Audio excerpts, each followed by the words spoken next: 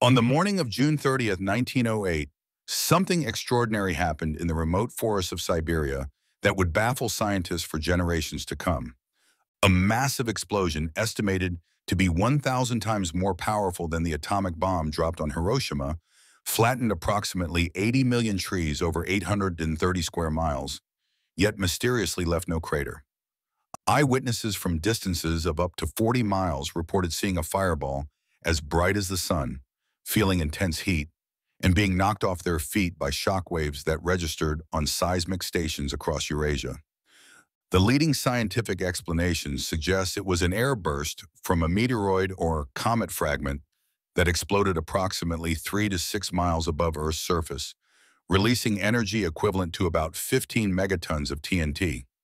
Alternative theories range from a mini black hole colliding with Earth, to Tesla's alleged experiments with wireless energy transmission, to the more fantastic explanations involving antimatter or even extraterrestrial spacecraft.